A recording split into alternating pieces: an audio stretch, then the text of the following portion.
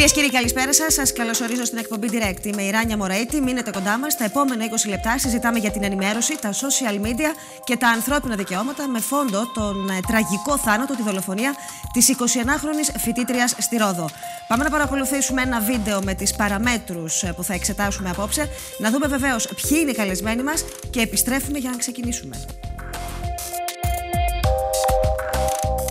Μια δολοφονία που σόκαρε. Ένα 21χρονο κορίτσι, μια φοιτήτρια που χτυπήθηκε, βιάστηκε και δολοφονήθηκε στη Λίνδο της Ρόδου. Ένα έγκλημα που αποτυπώθηκε μέσα από τα social media. Πώς κάποιοι κρύφτηκαν πίσω από την ανωνυμία, σπήλωσαν τη μνήμη ενός κοριτσιού που έχασε απάνθρωπα τη ζωή του. Έχει όρια η αξιοπρέπεια, ποιες είναι οι δικλείδες ασφαλείας μέσα στην ανωνυμία, πίσω από ηλεκτρονικούς υπολογιστές και τηλέφωνα; Πώς διασφαλίζονται τα ανθρώπινα δικαιώματα, πώς κάποιοι μπερδεύουν τα ανθρώπινα δικαιώματα; Και πίσω από ψευδόνυμα μιλούν για ελευθερία της έκφρασης. Ποια η πραγματικότητα, ποιος ο ρόλος των δημοσιογράφων, πώς στο πρόσωπο ενός νεαρού κοριτσιού με την άγρια δολοφονία του προκλήθηκε τέτοιος άλλος και ένταση με ρατσιστικές ακόμη διαθέσεις. Η δημοσιογραφία στην εποχή των social media και ο σεβασμός των ανθρωπίνων δικαιωμάτων απόψε ευθέως ή αλλιώς direct. Στο στούντιο ο δημοσιογράφος Γιώργος Λαγουβάρδος και ο νομικός Απόλλωνας Καλογερόπουλος. Καλησπέρα σας. Ευχαριστώ πάρα πολύ που είσαστε απόψε εδώ. Να συζητήσουμε για ένα θέμα που πάντα επίκαιρο θα έλεγα ότι είναι, αλλά νομίζω ότι με αφορμή αυτό που συνέβη τις προηγούμενες ημέρες στη Ρόδο, έχει ανοίξει πάλι μια συζήτηση που εύχομαι τουλάχιστον αυτή τη φορά να βρει μια άκρη. Γιατί νομίζω ότι χανόμαστε κάθε φορά που βλέπουμε τέτοια περιστατικά, κύριε Λογβάρδο, έτσι; Ναι, πρέπει να σας δώσω συγχαρητήρια γιατί και ειδησιογραφικά και ερευνητικά όπως κάνετε αυτή την εκπομπή, αντιμετωπίσατε αυτό το θέμα που έχει σοκάρει την ελληνική κοινή γνώμη. Το αντιμετωπίσατε με πολύ μεγάλη σοβαρότητα όπως έπρεπε να το αντιμετωπίσετε. Μπράβο σας. Δεν συμβαίνει, λέτε; Νομίζω όχι. Ε, δείτε κάτι. Συχνά το, τα θέματα αυτά τα αντιμετωπίζουμε περιπτωσιολογικά. Κάθε φορά δηλαδή που ανακύπτει ένα τέτοιο θέμα, που δεν είναι ελληνικό φαινόμενο, το έχουμε σε όλες τις χώρες της Ευρώπης, το, κυρίως στις χώρες που έχουν κοινωνική και οικονομική κρίση. Το έχουμε στις ε, Ηνωμένες Πολιτείες με τα απίστευτα περιστατικά που σημειώνονται με παιδιά που μπαίνουν οπλοφορώντας μέσα στο σχολείο και σκορπούν το θάνατο. Το είχαμε και στο πρόσφατο περιστατικό που σώκαρε επίσης τη διεθνή κοινή γνώμη στη Νότιο Αφρική με τον Παραολυμπιονίκη Πιστόριος. Νομίζω ότι τα αντιμετωπίζουμε περιπτωσιολογικά, αν και ο ΙΕ, πρέπει να σας πω, σε μία τελευταία έκθεση παρουσίασε το θέμα ως γυναικοκτονία, ζητώντας να ερευνηθούν τα βαθύτερα κοινωνικά αίτια αυτού του φαινομένου που δυστυχώς στις μέρες μας είναι πια πολύ συχνό. Που προφανώς κύριε Λαγουβάρδη δεν μπορεί να είναι αν προκαλεί όχι μία γυναίκα με το μήκος της φούστας της ή με τη ναι, συμπεριφορά Ναι, έχετε δίκιο. Έχετε δίκιο. Και εκεί εστιάζεται η ευθύνη, η ενδεχόμενη ευθύνη των μέσων ενημέρωσης γιατί πολλές φορές προσπαθούν να εξισώσουν το θύμα με το θήτη, το θύμα με το δράστη θέτοντας δηλαδή ερωτήματα αν η συμπεριφορά της γυναίκας ήταν αυτή που έπρεπε να είναι, δήθεν, και αν αυτή ήταν η αιτία που εξόριζε το δράστη. Αυτά όμως τα διλήμματα είναι αστεία. Δεν θα μπορούσα να έχω ε, από το χώρο της δημοσιογραφίας καλύτερο καλεσμένο. Εκπροσωπείται μία γενιά, μία φουρνιά δημοσιογράφων. Αυτό είναι και το μαγικό σε αυτή την ε, εργασία. Περνάνε τα χρόνια, αλλά το μυαλό παραμένει ζωντανό, παραμένει νέο που υπηρετήσατε τη δημοσιογραφία όταν δεν υπήρχαν ανθρώπινα δικαιώματα με την έννοια των προσωπικών δεδομένων κλπ. Οπότε η λέξη σεβασμός στα ανθρώπινα δικαιώματα έχει τη δική του υπόσταση γιατί ήταν επιλογή. Ναι. Ε, έχω την εντύπωση ότι κάπου έχει ψηλοχαθεί το θέμα. Δεν ξέρω αν οφείλεται στο πόσο έχουν εξελιχθεί τα μέσα ενημέρωσης και πόσο εμπλέκεται η λειτουργία των ε, μέσων κοινωνικής δικτύωσης. Θα τα δούμε όλα αυτά, κύριε Καλογερόπουλε. Έχω την αίσθηση ότι και εσάς σας όκαρε ό,τι ακολούθησε αυτή της δολοφονίας, έτσι. Είναι πραγματικά από τις περιπτώσεις που και εμάς τους νομικούς, αλλά και ολόκληρη την κοινωνία, έχει σοκάρει ό,τι ακολούθησε ειδικά σε αυτή την υπόθεση. Γιατί βλέπουμε εκτροπές, αλλά στη συγκεκριμένη περίπτωση νομίζω ότι παράγει το πράγμα. Και ε, συνεχίζοντας αυτό που είπε προηγουμένως ο κ. Λαγουβάρδος, είναι γεγονός ότι εδώ έχουμε, όπως εμφανίζεται τουλάχιστον, μια δολοφονία γυναίκας πριν και μια, γυναίκα, μια δολοφονία γυναίκας μετά. Με όσα ακολούθησαν και όλα αυτά τα εμετικά σχόλια τα οποία κάθε ένας ανεβάζει πλέον με την έκφραση της άνεσης του ανεβάζω στο διαδίκτυο. Και εκείνο το οποίο σοκάρει περισσότερο είναι η αντίληψη που διαφαίνεται να διακατέχει μεγάλη μερίδα της κοινωνίας και έχει να κάνει με το ότι αυτή η κοπέλα δολοφονήθηκε επειδή είπε όχι. Και σε μια κοινωνία, όπως δεν διστάζω να το πω, έχει γαλουχηθεί ο μεγάλος πληθυσμός του τόπου μας και όχι μόνο, το ίσως μιας γυναίκας Ναι. το ερμηνεύουμε ότι μπορεί να είναι και ναι. Είναι, γιατί από ό,τι διαφαίνεται, αυτό έγινε στη συγκεκριμένη περίπτωση. Το ίσως ερμηνεύτηκε σαν ναι. Είναι το ότι δεν έχει δικαίωμα μια γυναίκα δηλαδή να αρνηθεί ακόμα και αν σκεφτεί να κάνει παρέα ή ακόμα και αν σκεφτεί να έχει σχέση με κάποιον άνθρωπο, δεν έχει δικαίωμα να αλλάξει γνώμη και θα ακολουθήσει ο θάνατός της. Είναι συγκλονιστικό αυτό και γι' αυτό και έχει απασχολήσει τόσο πολύ το συγκεκριμένο έγκλημα την ε, κοινή γνώμη και γι' αυτό ακριβώς θα πρέπει να σταθούμε με σύνεση και εσείς οι δημοσιογράφοι και όλοι εμείς μετά από τέτοιου είδους περιστατικά και να μην ακολουθεί ένας δεύτερος βιασμός με όλα τα αποτροπια... ε, με τον ατο- αποτροπιασμό που ακολούθησε από αυτήν την ιστορία. Είναι από τις χαρακτηριστικές περιπτώσεις προσβολής μνήμης νεκρού αυτή, κύριε Καλογερόπουλε; Γιατί έχετε υπηρετήσει στα βεβαίως. ανθρώπινα δικαιώματα και στην Βεβαίως. Επιτροπή την αντίστοιχη του Δικηγορικού Συλλόγου επί Μακρόν. Βεβαίως, είναι κλασική περίπτωση προσβολή μνήμης νεκρού. Προβλέπεται από τον ποινικό κώδικα από το άρθρο 365. Εκείνο που θα έλεγα όμως είναι ότι η ποινή η οποία απειλείται, που είναι ποινή φυλάκιση έως 6 μηνών, δηλαδή μια ποινή η οποία δεν είναι ιδιαίτερα σημαντική και με τα σημερινά δεδομένα την, ο, ο, ο καταδικασμένος έχει την ε, ευχέρεια της ε, ευεργετικής αντιμετώπισης είτε της μετατροπής της ποινής, είτε της αναστολής της ποινής. Ουσιαστικά δηλαδή δεν έχουμε κίνδυνο για εκείνον ο οποίος διαπράττει το αδίκημα να υποστεί και κάτι φοβερό. Εκείνο το οποίο ε, θα πρέπει να επισημανθεί όμως ότι εδώ έχουμε και περίπτωση διαδικτυακής προσβολής που είναι πλέον αντικείμενο της ε, υπηρεσίας της ε, δίωξης ηλεκτρονικού εγκλήματος, όπου εκεί έχουμε σοβαρότερο, σοβαρότερη ποινή και αυτή θα πρέπει να είναι η αντιμετώπιση, προσθέτοντας και το γεγονός ότι υπάρχει και το δικαίωμα της αποζημίωσης, την οποία μπορεί να ζητήσει η οικογένεια, όπως κάθε οικογένεια που προσβάλλεται η μνήμη. Φυσικά, ποτέ και σε καμία περίπτωση δεν μπορεί να αποκατασταθεί με όλα αυτά και με τους ρυθμούς τους αργούς. Πού θα το πω, κινείται η δικαιοσύνη στην Ελλάδα, αν και πότε θα δικαστεί μια σχετική υπόθεση και ποια θα είναι αυτή η αποζημίωση που στο μεταξύ θα έχει κάνει το γύρο της κάθε γειτονιάς πλέον, γιατί έτσι είναι Πολύ πλέον σωστά. με το κινητό που βλέπουμε την είδηση μέσα από το κινητό όλοι. Κάθε σχόλιο που αφορά μια κοπέλα που είχε δικαίωμα και δεν θα την κρίνουμε εμείς να κάνει τη ζωή της και είπατε προηγουμένως πολύ πολύ εύστοχα ότι δεν θα εξαρτήσουμε εκείνη την τοποθέτηση και την κρίση για έναν άνθρωπο από το πώς είναι η ζωή του. Είπατε προηγουμένως για το μήκο της φούστας, είπατε προηγουμένως αν πήγαινε ή όχι σε μπαρ, είπατε προηγουμένως. Δηλαδή θα πρέπει να αποδεχθούμε, ακόμα και αν αυτά συμβούν, ακόμα και αν αυτά συμβούν, ότι θα πρέπει κάθε κοπέλα η οποία επιθυμεί να έχει μια ερωτική επικοινωνία ε, ή επαφή στη συνέχεια με έναν άνθρωπο ή να διασκεδάζει ή να έχει κοντή φούστα ή να φοράει ε, ε, ε, ε, δαντελένια εσόρουχα ή οτιδήποτε, θα πρέπει αυτή να δολοφονείται; Και εκεί υπάρχει ελαφρυντικό από την άλλη πλευρά. Κάποτε θα πρέπει να βάλουμε τα πράγματα στη θέση τους. Μέσα στα δικαστήρια είναι έτοιμοι αυτοί οι οποίοι τα παρτίζουν να κάνουν τέτοιου είδους ερμηνείες, να δίνουν τέτοιου είδους βαρύτητα; Ή υπάρχει ακόμα αυτό το στοιχείο της εμνοτυφίας που υπήρχε παλαιότερα, κύριε Δεν Καλογερόπουλε; μπορούμε, Γιατί να, υπάρχουν γεν- αποφάσεις. δεν μπορούμε να γενικεύσουμε, είναι θέμα χαρακτήρα. Υπάρχουν όμως είναι ακόμα. θέμα ανατροφής, είναι θέμα παραστάσεων που έχει ο καθένας. Ελπίζω και έχοντας υπηρετήσει, όπως είπατε, τα ανθρώπινα δικαιώματα, κάθε συζήτηση τέτοια και κάθε ενημέρωση και κάθε επαφή με ανθρώπους και μέσα από την κοινωνία και τα παιδιά που μεγαλώνουν να βελτιώσουν την κατάσταση, γιατί όντως φαινόμενα τέτοιου είδους υπάρχουν που και από εμάς τους νομικούς, δεν βγάζω κανένα απ' έξω, είναι η ερώτηση σε πολλές τέτοιες περιπτώσεις το τα ήθελε. Μα χόρευε μαζί του μέχρι τις ε, δύο η ώρα. Ε, δικαίωμά της μιας γυναίκας είναι να χορεύει μέχρι τις δύο η ώρα, αλλά να μην θέλει να κάνει τίποτα άλλο από εκεί. Δεν σημαίνει ότι όποιος χορεύει ακολουθεί στη συνέχεια και υποχρέωση σεξουαλικής συνέβρεσης ή οτιδήποτε άλλο. Είπε Είναι ο κύριος- στερεότυπε ερωτήσεις που τις ακούμε δυστυχώς μέσα Ακόμα στα μέχρι και ακροατήρια σήμερα. ακόμα και σήμερα. Ναι, για να δημιουργηθούν εντυπώσεις περισσότερο. Ε, δεν θα ευλογήσει τα γένια των δικηγόρων ο κ. Καλογερόπουλος, να μην ευλογούμε όμως και εμείς τα δικά μας τα γένια. Παίρνω το νήμα από τον εξαίρετο Αυτό νομικό, ακριβώς ήθελα. Από τον εξαίρετο νομικό τον κύριο Καλογερόπουλο για να σας πω ότι αναζητάμε την ευθύνη των μέσων ενημέρωσης. αναρωτιέμαι για ποια μέσα ενημέρωσης. Κατέρευσαν τα μέσα ενημέρωσης στην Ελλάδα.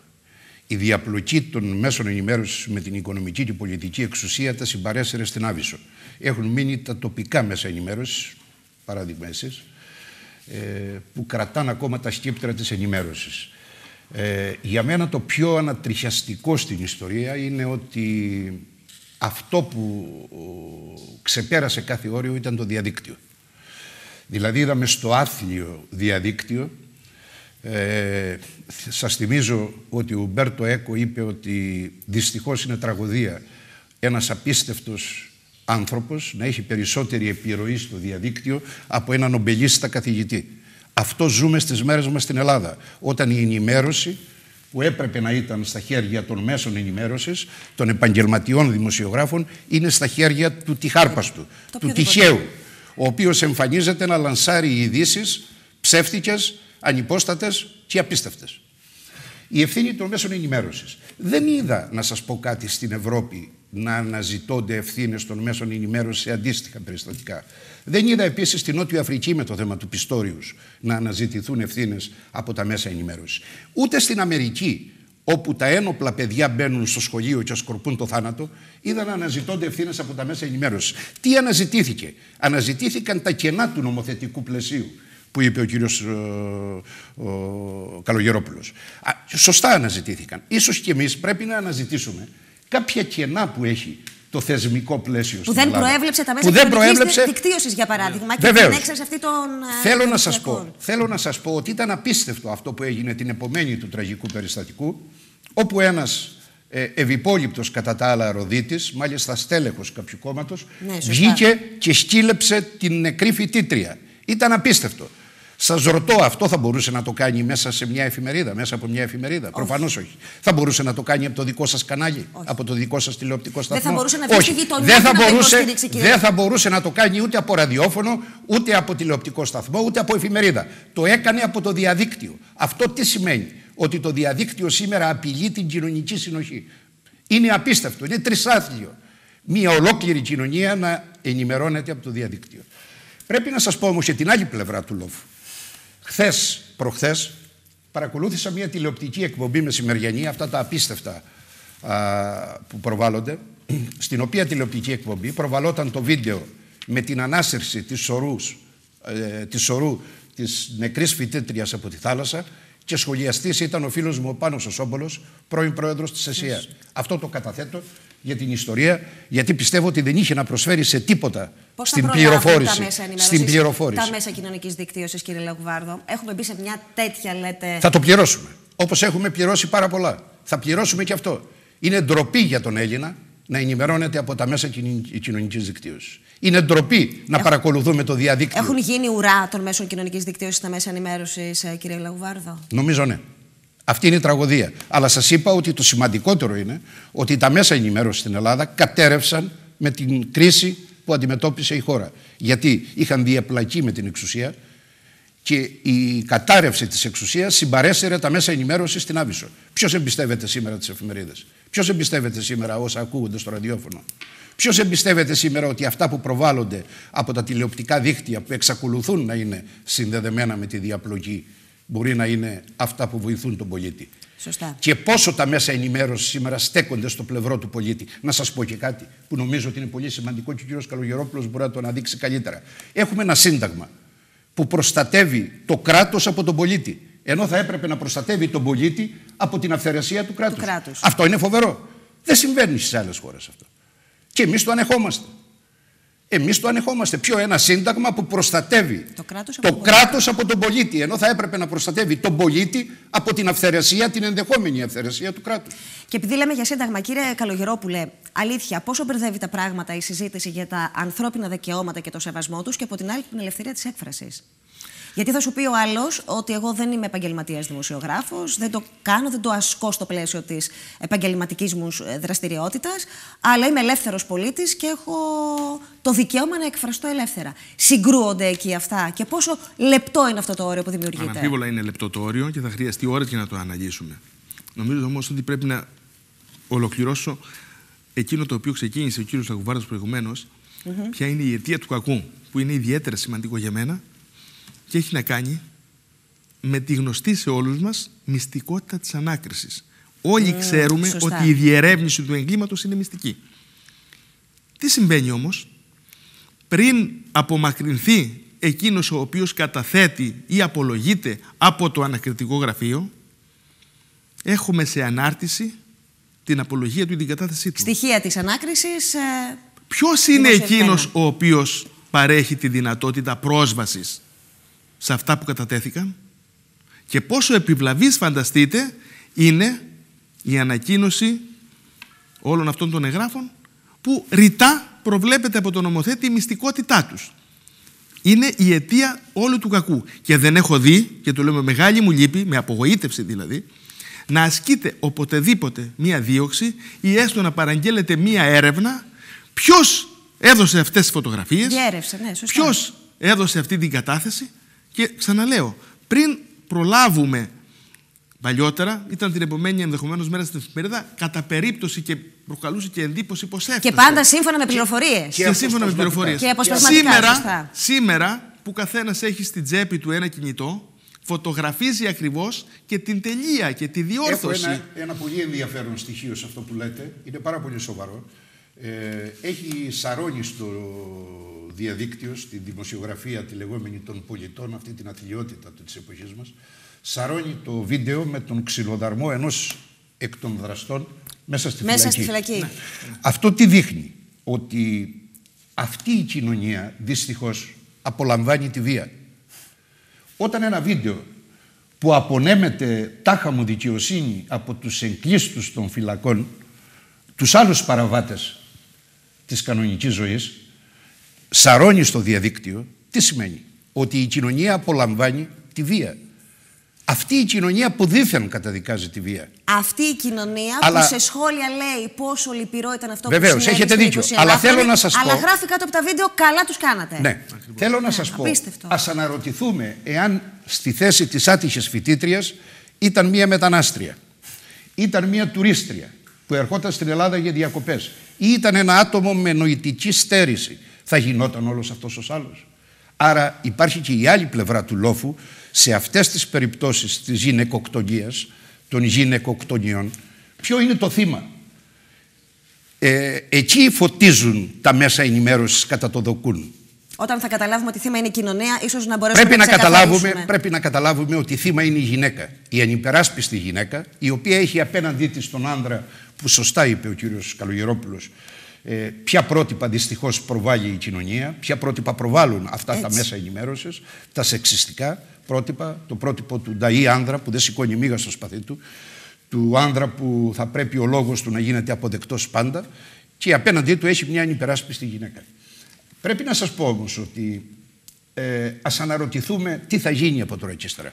Θα αφήσουμε τα νέα παιδιά κλεισμένα στο σπίτι, να μην ερωτεύονται, να μην αγαπούν να μην κυκλοφορούν. Και αυτά μέσω διαδικτύου γίνονται. Να μην ε, ζουν τις χαρές της ζωής. Επειδή συνέβη αυτό το περιστατικό, επιτρέψτε μου να σας πω ότι η κοπέλα αυτή, η άτυχη φοιτήτρια, δολοφονήθηκε και γιατί είπε όχι ενδεχομένως, αλλά πιστεύω ότι δολοφονήθηκε γιατί βρέθηκε στη λάθος στιγμή με λάθος ανθρώπους.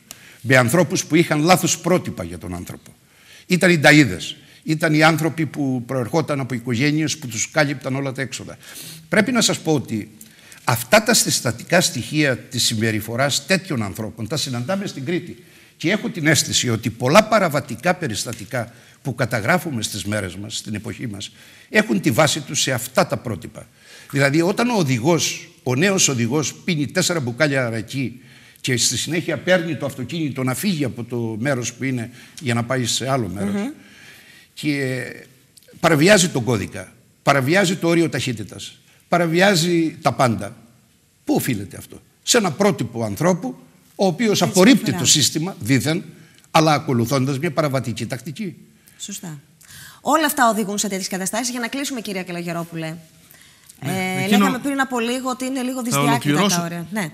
Είναι δυσδιάκριτα τα όρια. Θα, ολοκληρω... θα συμπληρώσω όμως ότι αν πραγματικά δεν διδάξουν τέτοιου είδους περιστατικά, η πατριαρχική κουλτούρα η οποία μας διακατέχει δυστυχώς ακόμη στις γενιές μας τουλάχιστον, θα είναι υπεύθυνη και για τις επόμενες γυναικοκτονίες και για τους επόμενους βιασμούς. Για να πω κάτι το οποίο επίσης είναι διαπιστωμένο το τελευταίο διάστημα για τη στάση της γυναίκας η οποία υφίσταται ανεξάρτητα από το γεγονός της Ρόδου την επίθεση και το βιασμό. Πρόσφατα, μια 22χρονη στην Κόρινθο, επειδή αντιστάθηκε και χτύπησε το βιαστή της, καταδικάστηκε, αν θυμάμαι καλά, σε πολιετή κάθριξη, νομίζω 15 ετών. Και πάμε σε ένα δικαστήριο και ακούμε από τον πρόεδρο ή από τον δικηγόρο ή οποιοδήποτε, καλά και γιατί δεν αντιστάθηκες; Μα αν αντισταθείς, θα πεις γιατί, γιατί δεν υπέστης. Έχουμε δηλαδή θέματα πάρα πολύ λεπτά και πάρα πολύ σοβαρά που πραγματικά είναι συνέπεια της αντίληψης και της κουλτούρας που έχουμε για αυτό το θέμα. Τώρα. Θα ήθελα πάρα πολύ να σας ευχαριστήσω. Ε, θέλω να δεσμευτείτε και οι δύο στον αέρα ότι θα το επαναλάβουμε μετά τις γιορτές. να ανοίξουμε λίγο περισσότερο αυτή την ομπρέλα. Έχω την εντύπωση ότι ο κόσμος βγάζει χρήσιμα συμπεράσματα. Ίσως να λειτουργήσατε σήμερα και σαν αποφωνή της συνείδησης, γιατί πολλές φορές είναι σκέψεις που κάνουμε, αλλά μάλλον δεν τις σχηματοποιούμε. Ευχαριστώ θερμά. Ολοκληρώστε κύριε Λογάρδο. Πάλι συγχαρητήρια για τον τρόπο που και ειδησιογραφικά και ερευνητικά παρουσιάσατε αυτό το θέμα. Μπράβο σας. Τιμή μας. Φίλες και φίλοι, θέλω να ευχαριστήσω και εσάς που μας παρακολουθήσατε. Γυναικοκτονία, είπε ο κύριος Λαγουβάρδος. Αναφέρθηκε στο ίδιο δεδομένο ο κύριος Καλογερόπουλος. Α ευχηθούμε αυτό το κορίτσι, η 21χρονη, που δεν σκοτώθηκε μία φορά, αλλά και δεύτερη, να είναι το τελευταίο θύμα. Καλό σας βράδυ.